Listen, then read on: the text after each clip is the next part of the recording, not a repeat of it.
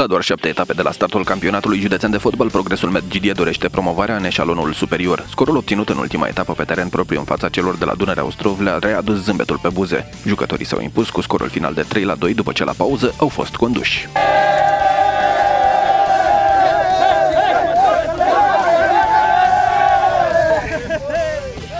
Următorul meci al celor de la Progresul va fi pe stadionul de la Ovidiu împotriva vicecampioanei din sezonul 2013-2014 și actuala ocupanta locului 2 în clasament. Alte rezultate din seria Vest sunt Gloria Băneasa per la Morfatlar 9 la 1, Știința Porta Albă CSO Ovidiu 1 la 5, CFR Constanța Carsium Hârșova 3 la 0, viitorul Constanța CS Mihail Cogălnicianu 3 la 0, Voința Valului Traian Axiopolis Cernavodă 0 la 7. Cernavodenii își păstrează poziția de lider în clasament cu 17 puncte din 21 posibile. Pe locul 2 se află CSO Ovidiu la egalitate de puncte. te.